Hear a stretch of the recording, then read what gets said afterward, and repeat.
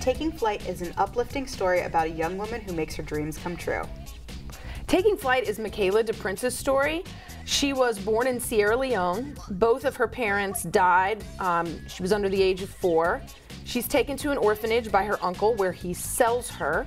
She's left at this orphanage and she's known as number 27. They don't even use the kids' names there.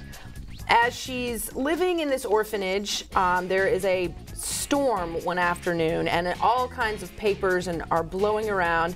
And she finds this magazine cover, and on the cover is a picture of a ballerina, you know, in the tutu, and you know, she's all decked out.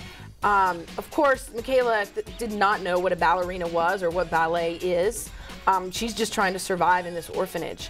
Fortunately for Michaela, she was adopted by an amazing American family and was brought to America um, at a very young age. And she actually became a professional ballerina. This picture that she saved from Sierra Leone actually became her dream and she and it became true.